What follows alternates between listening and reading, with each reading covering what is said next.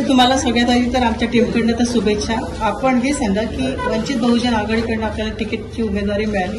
काय सांगणार आणि कुठला एजेंडा राहणार? आमच्या वंचित बहुजन आघाडीचा अजेंडा असा असेल की आमचं जे आरक्षण प्रस्थापित पक्ष संपवत चाललेले आहेत तो आमचा प्रथम मुद्दा राहील. आणि त्यानंतर आपल्या साकोली विधान- विधानसभा क्षेत्रातील प्रस्थापित पक्षातील आमदारांनी आतापर्यंत कोणत्याच प्रकारचे विकास कामे केलेली नाही. आणि या विधानसभा क्षेत्रातील सर्व समाज घटकांचा बहुजन घटकांचा कोणत्याही प्रकारे विकास त्यांनी साधला नाही. आणि हा क्षेत्र जसा मागासला होता तसा तो आजही मागासलेला आहे.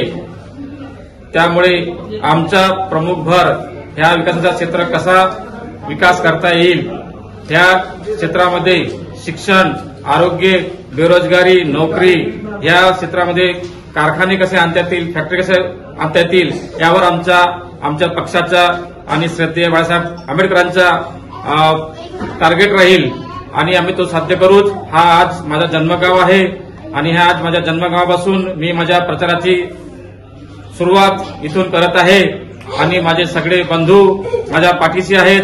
आणि यावेळेस माझी सरळ टक्कर जे प्रस्तावित पक्षाचे आमदार आहेत माननीय नानाभाऊ पटोले यांच्याशी सर्वांची टक्कर होणार आहे आणि त्यामध्ये आम्ही निश्चितच विजय होऊ असा मला आशावाद आहे. लढत चुरशीची आहे आणि टक्करही काट्याची आहे. तर या काट्याच्या टक्करमध्ये किती वोटांनी आपली राहणार यावेळेस टक्कर होईलच आणि मागील प्रस्तावित पक्षाची विकास कामे पाहता त्यांच्याकडे कोणीही यावेळेस ढुंकून पाहणार नाही. आणि मी एक निष्कलंक आणि उच्च शिक्षित आणि ह्या गरीब घरचा मुलगा म्हणून मला माझे बांधव मला मदत करतील आणि मला त्यांचा जो अमूल्य मत आहे तो मला आशीर्वाद रूपाने मला देतील असं मी अपेक्षा करतो. तालुका महिला अध्यक्ष वंचित बहुजन आघाडी महिला अध्यक्ष साकोली आज आमचे वंचित बहुजन आघाडीचे उमेदवार अविस्ना- अविनाश नान्य सर यांच्या प्रचाराची सुरुवात आज त्यांच्या राहते गावावरून किटाडी इथून प्रचाराला सुरुवात होत आहे. आमचं बाळासाहेब आंबेडकरांचे हात बळकट करण्यासाठी आमचे उमेदवार जे दिलेले आहेत नाना अविनाश नान्य सर यांच्या प्रचाराला ये- यश मिळेल अशी मी हमखास खात्री बाळगते. आणि तसे प्रयत्न पण आमचे चालूच आहेत. कारण जो विकास आमच्या गाव खेडोपाडी जो पाहिजे आहे तो आजपर्यंत मिळालेला नाही. कारण आजपर्यंत कित्येक आमदार खासदार होऊन गेले. पण आमच्या ह्या खेडेगावचा विकास आजपर्यंत झालेला नाही.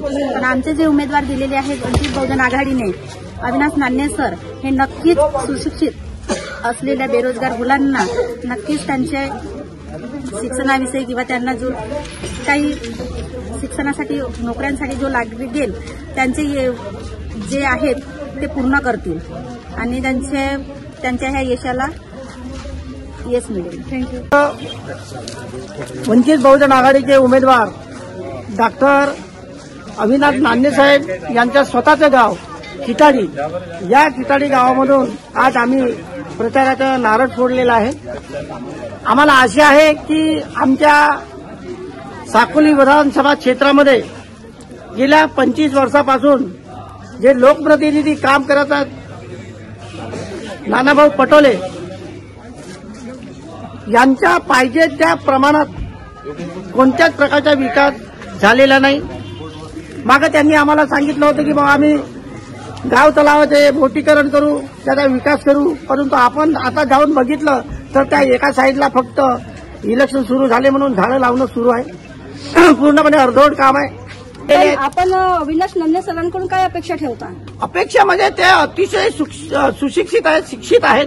ते एमबीबीएस एमडी झालेले हार्ट स्पेशालिस्ट आहेत. आणि एक नव्या दमाच्या या उमेदवार त्यांना वाटते की आपण आपल्या क्षेत्रासाठी विकास केला पाहिजे. वंचित घटकांचा विकास करण्यासाठी त्यांना आमदार म्हणून निवडून देणं फार जरुरी आहे. त्यांच्या आपल्याला काय वाटतं की साकोली जिल्ह्यामधून हे निवडून येतील?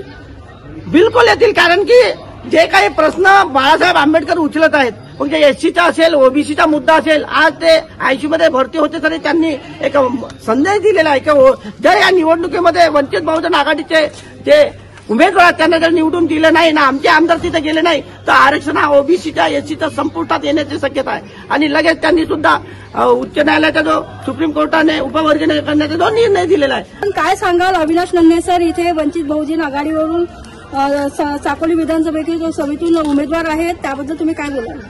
डॉक्टर अविनाशजी नान्ने यांनी आज वंचित बहुजन आघाडीच्या वतीने साकोली विधानसभेची अधिकृत उमेदवारी मिळालेली आहे. आणि आज रितसरपणे त्यांनी आज आपल्या प्रचाराचा शुभारंभ केलेला आहे. डॉक्टर अविनाशजी नान्ने हे स्वतः एक उच्च शिक्षित असे उमेदवार आहेत.